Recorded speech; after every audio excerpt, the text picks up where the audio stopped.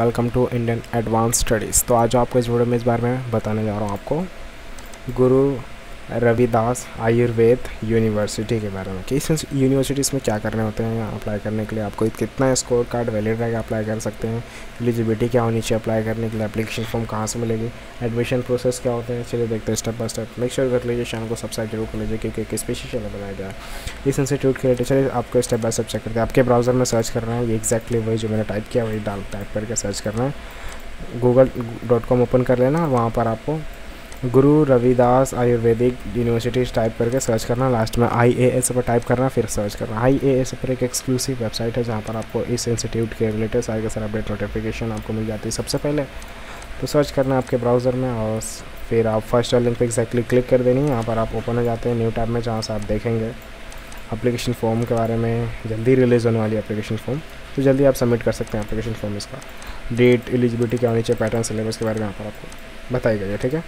तो चलिए देखते हैं स्टेप बाय स्टेप सबसे पहले इस फॉर्म को ज़रूर फिल करना है, जो सामने आपके फॉर्म है आपका नाम ईमेल आईडी कॉन्टैक्ट नंबर कौन से स्टेट के रहने वाले सिटी के आपके कौन से कोर्स में इंटरेस्टेड हैं हाईएस्ट क्वालिफिकेशन आपके कितनी कौन से कोर्स ये सारी चीज़ें सेलेक्ट करने के बाद आपको क्या करना है? गेट फ्री काउंसलिंग पे क्लिक करना है। तो क्यों क्लिक करना है? क्या होगा उससे ये उससे ये होता है कि आपको जी आर ए यू के मतलब उसके रिलेटेड सारे के सारे अपडेट और नोटिफिकेशन मिलती रहती है सबसे पहले, और अलग अलग कॉलेज अलग अलग यूनिवर्सिटी से इंस्टीट्यूट से आपको मैसेज आएँगे कि आप जो है इस कॉलेज में आकर के एडमिशन ले सकते हैं ऑफ़र आएँगे ऐसा मतलब ठीक है?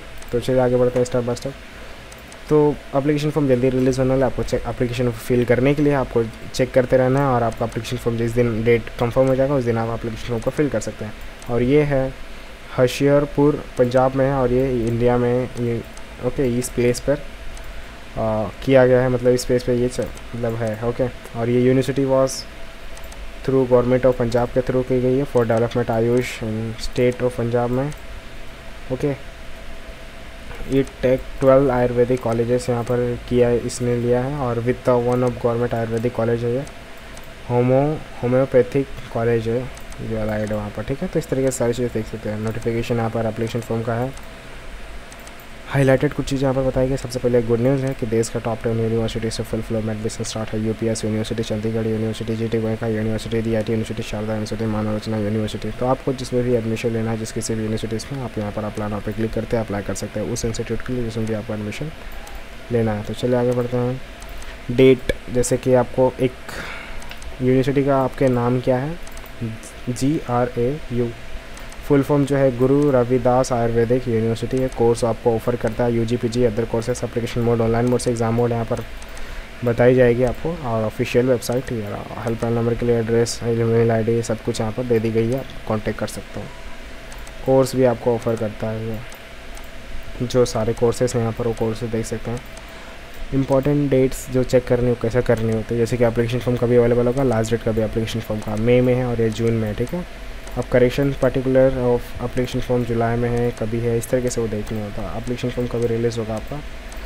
अब अप्लीकेशन फॉर्म का स्टेप क्या है करने का? तो पहले तो आपको ऑनलाइन मोड से ओपन होना होगा, फिर वहाँ से आपको फिल करना होगा सारी चीज़ें, आपका नाम email ID contact number debit card आपका मतलब सारी चीज़ें वहाँ पर फिल करनी होती है पैरल स्टेटस वगैरह सारी चीज़ें।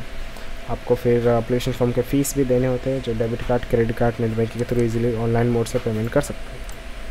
अब आगे चलते हैं एलिजिबिलिटी क्या होनी चाहिए आपकी? अप्लाई करने के लिए सत्रह साल के यहाँ पर हुए रहने चाहिए अप्लाई करने के लिए। ट्वेल्थ आपकी कंप्लीट होनी चाहिए।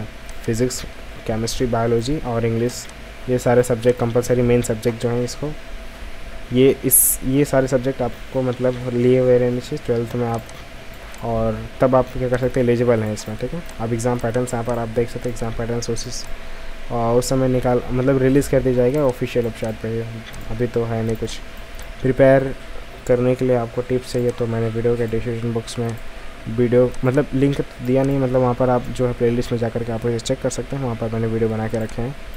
एडमिट कार्ड कहाँ पे रिलीज़ होता है? Admit card G R A U के ऑफिशियल वेबसाइट पे रिलीज़ होता है, जहाँ से आप एडमिट कार्ड को डाउनलोड करते हैं और एग्ज़ाम जब रहेगा आपका तो लेकर के साथ में जाना होता है। उसके बिना एग्ज़ाम दे नहीं सकते, आपको बता देता हूँ। तो यहाँ पर स्टेप बताएगा तो आप लॉगिन करके अकाउंट नंबर अप्लीकेशन नंबर और पासवर्ड डाल के फिर एडमिट कार्ड को डाउनलोड करते हैं, फिर आप आगे प्रिंट आउट निकाल लेना आपको। रिज़ल्ट कहाँ से डिक्लेयर होता है? ऑफिशियल वेबसाइट के थ्रू रिलीज़ मतलब डिक्लेयर होगा और वहाँ से आप रिज़ल्ट को चेक कर सकते हैं डाउनलोड भी कर सकते हैं। काउंसलिंग ऑफिशियल वेबसाइट के थ्रू आपका रिलीज़ हो जाता है, जहाँ से आप काउंसलिंग को भी चेक कर सकते हैं और उसे रिक्वायरमेंट डॉक्यूमेंट्स जो रहते हैं रजिस्टर करते समय जो डॉक्यूमेंट्स लगेंगे, वो डॉक्यूमेंट्स यहाँ पर बता दिए गए हैं कि Aadhaar score card higher secondary marksheet particular caste certificate Aadhaar card सारी चीज़ें इस तरीके से सारी चीज़ें लगेंगे। तो कुछ भी डाउट होता है तो आप डेफिनेटली ज़रूर कमेंट कीजिए लाइक कीजिए ऐसे वीडियो फ्यूचर पाने के लिए चैनल को ज़रूर सब्सक्राइब कीजिए। Thank you so much watching my video